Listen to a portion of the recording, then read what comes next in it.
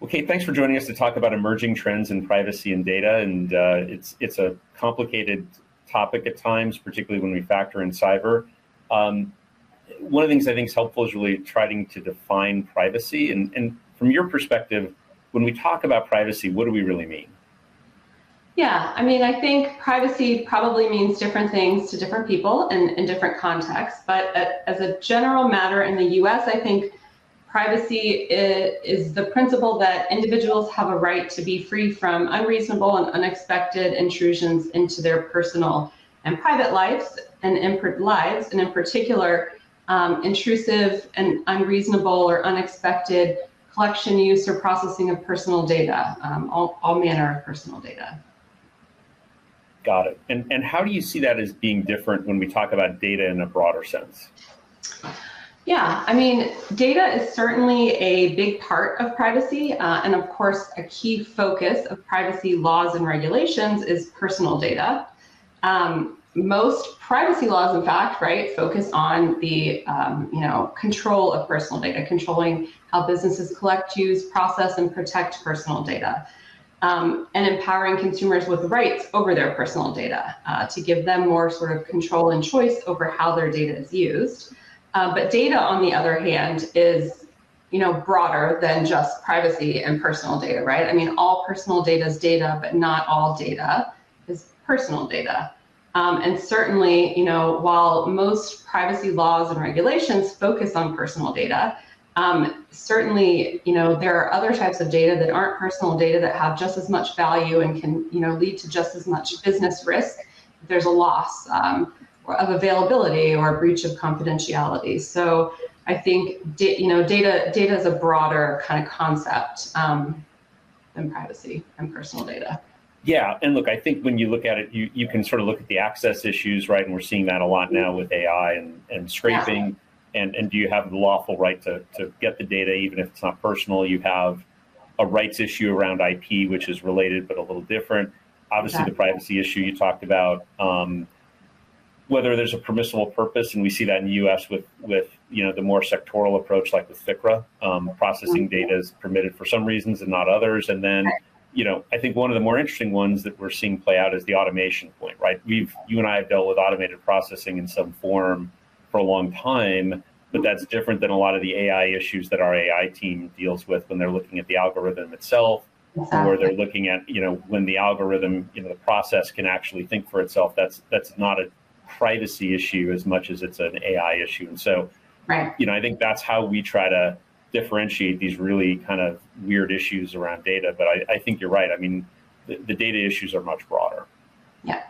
Yeah, and I mean, not all, you know, data is broad, personal data is a subset of that. Um, you know, on the same yep. hand, I think to, to the point you were making, right, um, not all intrusions or unfairness um, relates to uh, exploitation of personal data, right? To your point, AI raises additional issues, right? And it's kind of tied in with data too, right? Um, the data the algorithms rely on, but also the underlying algorithms, right? And so uh, it's all it's all related, but and privacy, I think, and personal data are kind of just one component of that. Yep. No, that's exactly right. And then we have cyber and how it's it's a related but different issue. How do you sort of conceptualize cyber versus privacy, and how do we tie them together? Yeah, I mean, some people call privacy and cyber two sides of the same coin. I think they're just, I, I think they're more complementary and related concepts, right? So I think of privacy as control over personal information. How can it be used? How can it be disclosed? How long can it be kept? You know, what, you know, what is reasonable, you know, in terms of processing of personal data. Whereas I think cyber focuses on um, protecting data, including personal data, right? Um, you know, ensuring the confidentiality, security, and integrity of data, and also not just data, but the underlying infrastructure and systems that we rely on to kind of manage, make sure data is available, you know, process data, right? So um, a cyber incident could involve personal data, or it might not, right? Um, it could just, you know, lead to the unavailability unavailability of key information networks, and you know, your inability to operate your business, right? Which is a, a really significant risk and can lead to huge losses, um, but not because of personal data per se, right? Right. No, exactly. Um, and, and, look, we've seen the rise of cyber over the last 10 years and um, in a meaningful way. And what we've now seen is a lot of states step in and, and pass, uh, at least in their state, a comprehensive privacy law. How have you seen that impact what clients are doing, and what, what do you see the laws as attempting to regulate? Yeah, I mean, I think all of the you know comprehensive privacy laws in the U.S. I think we're up to 12 now. Um, they focus on personal data, right? They place obligations and restrictions on the collection, use, retention of personal data uh, onto businesses who collect it, um, and they give they empower individuals with certain rights, rights that look a lot like GDPR rights, um, but are you know a little bit different, right? Um, most of these state privacy laws focus on the more uh, traditional U.S. concept of consumer too, right? Um, somebody acting in a in a personal or um, uh, household or family context, right? Whereas we, you know, the outlier to that is the CCPA, obviously California. If there is an outlier, it's almost always California. Um, you know, defines consumer as just any resident of California. So that brings in employees and business to business relationship data and business to business lead gen data, right? So California is a little broader than these other laws. Um, the laws also um, kind of concept, conceptualize this, this definition of sensitive personal information, which I think is a combination of EU sensitive personal information or special categories data and sort of the US data breach personal information, right? All rolled into one category of higher risk data with additional obligations that uh, attach to it under privacy laws. Um, yep. And then I think beyond the comprehensive privacy laws, there's also been a, num- uh, a, a few notable state privacy laws too, um, uh, focusing on consumer health data and children's data.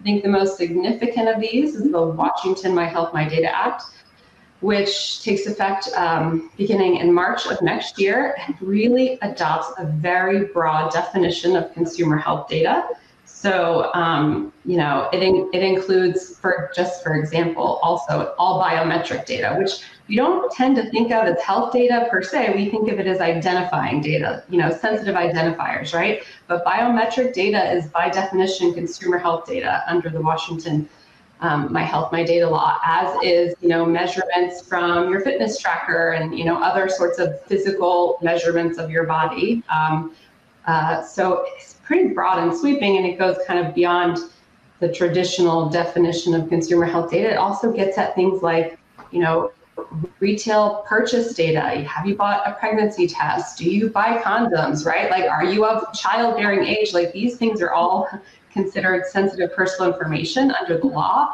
And so I think it's going to have some really sweeping applications that uh, I think companies aren't fully aware of yet no, I think you're right, and I think that with that compliance de- deadline looming, it's going to make it really interesting for a lot of companies. And I, I, think that's a perfect example of, you know, something we hear in the space a lot is well, our company's GDPR compliant, and that should be, you know, that, that sort of means we're compliant with all these other U.S. state laws. I mean, what's what's your thought on that? Yeah, I mean, look, the short answer is being GDPR compliant, and also, you know, I one of my pet peeves is saying I'm GDPR compliant because I think GDPR compliance is also an ongoing um, obligation, right? Like it's not static, right? So I always caution, you know, clients don't say you're GDPR compliant. Say you have a great GDPR compliance program, for example, including, right? Um, that's a little bit lawyerly, but also I just think practically GDPR requires a lot. But at the same time, if you have a great, very strong GDPR compliance program, good foundation for you know privacy compliance more broadly, but it's not enough in and of itself. And being GDPR compliant is not does not make you privacy compliant, you know, from a U.S. privacy law perspective. So, yeah. What are we seeing uh, regulators do? We've seen a lot of regulatory activity um, on the cyber side, but more importantly, I think on the privacy side, we're seeing an uptick as well. What have you been seeing? Yeah, you know, I think a lot of what we've been seeing is um, what I think of as kind of the low hanging fruit too, right? The easy, easy to tell stuff, what you can discern by going to a company's website, looking at their privacy policy, you know, do they have tracking cookies? Anybody can tell. If so, are they recognizing, you know, global privacy control signals? Do they have an opt out? Do they have the right CCPA do not sell links in the footer? Um, you know, uh, do they offer a loyalty program? And if so, do they have the right financial incentives language and are they getting the right level of consent for that? Um, you know, are they making it too hard to exercise your privacy rights? Those kinds of things that are super easy to test is where I think we've seen a lot of the focus, and it makes kind of makes sense too, right? It's uh, it's easy enough, right? Yep. So um, I think that'll change. Uh, you know, I think we'll start to see um, what I expect we're going to start to see some sort of ex- exemplar cases on um, this whole concept of um, dark patterns, which is in all of these laws, right? More broadly than just like exercising your rights or submitting a request, but you know this idea that you can sort of encourage people to make the less privacy protective um, choice by either making it harder to make a privacy protective choice or kind of being confusing or overemphasizing what the choice you want consumers to make as opposed to letting them choose between two equally presented options. And Lord knows we've seen the uh, plaintiffs' lawyers go after a lot of those similar cases too, particularly with like yeah. the chats, chat function and the wiretap claims and the cookies, and, and we've seen a lot of activity there. And I don't think that's going to go away anytime soon. No, certainly not. I mean, and it's still early enough that we don't have, you know, enough helpful, I think, you know, binding court decisions that kind of help us dispose of some of these. But you're right. I mean, aside from the, you know, the low hanging fruit from a regulatory perspective, tracking, you know, um, pixel related tracking, as you say, chatbot, session replay, and also starting to see um, some claims around like B2B um, demand generation software, right? There's a lot of software out there that if I go and visit a business's website, um, they look at my IP address, they figure out what company that belongs to, and then they append data to that um, information. We're seeing claims around that, which is really interesting to me um, because that's that's relatively new um, in the in the U.S. space, at least. You know, seeing these types of claims. So you're absolutely right. There's this huge volume of that right now. And what are some best practices companies can think about as these laws continue to evolve so quickly? Yeah. Well, I think certainly it's really difficult right now to take sort of a state by state or even a country by country, region by region approach to privacy compliance. Things are changing quickly. You know, pri- privacy involves personal data. Personal data is a subset of data, you know. So, you know, these things are all kind of interrelated. And I think if you focus too narrowly on privacy compliance, you know, as a starting point, um, and you know react to all of these new privacy laws. You're being really inefficient probably and it's really hard to sustain. So i i tend to think it's better to kind of think of this as a part of you know an overall data governance program and strategy that includes uh, you know privacy it includes cyber you know it, it kind of rolls that all into one. And i think it starts with um, or includes at least you know involvement of key executive leadership too, right? I think it's not enough to have a privacy compliance team saying the law says this, therefore we need to do that, right? You need to set the strategy and the risk tolerance kind of at the top, and you need the key stakeholders to be involved and sort of buying in and supporting and helping to set the strategy so that you can decide what's your risk tolerance and from there what's the privacy you know framework that you want to set your controls to so that you can assess your current practices, you know, implement remediations, and then, you know, um, look at new laws against your existing program, right? I think we kind of have to think of it from that perspective, or else you're just constantly pivoting kind of from one thing to another, playing whack-a-mole and, you know, getting lost in the minutia of it. And and and not getting kind of the support you need as a privacy professional you need buy-in you need budget and you need resources and so i think the more effective way to do that is uh, you know to think of it as as you know i say it's part of an overall data governance um, program no, I think you're right. And look, it's it's hard to keep chasing the law, and the law is constantly changing. To your point, right? It's it's just it's hard for any program to sustain that kind of change. Absolutely, absolutely, yeah. Okay, thanks for joining us today. I really appreciate your insights on this. Can I say two more things? Absolutely. So I was thinking about this before our call, um, and I was thinking about what are some of these out, you know, we talk about these state privacy laws. We talked about that a couple of questions ago and sort of how they're how they're alike in a lot of ways, but there are definitely some outliers too that I think are worth mentioning just really quickly. Um, because I don't, there's not a lot of attention I think being paid yep. to them. One is California law has some really, really specific requirements on how you have to flow down consumer rights requests to your service providers and your third parties, deletion requests, opt-out requests, other types of requests, correction requests. Um, and it's it's as with all things CCPA, they're kind of overly granular, right? Um, another another thing I think that is worth mentioning is, you know, the California Privacy Act came in, it was passed without a lot of fanfare, and then, you know, everybody was focusing on the CCPA regulations, but the Colorado Attorney General passed and finalized, and they've taken effect, you know, implementing regulations under the CPA. There's some really interesting kind of specific requirements in there that go well beyond what the law says. Um, and I, will just call out a couple of them really quickly. One is they've got very granular consent obligations. So if you need to get consent, the law says exactly what you need to address in order to get informed consent mm-hmm. and to make it valid. If, if you're getting consent to sell or share data, you have to list every entity to whom you're selling or sharing that data. Um, and it also has rules around when consent expires. So when you need to renew consent or when it expires. So it's pretty granular.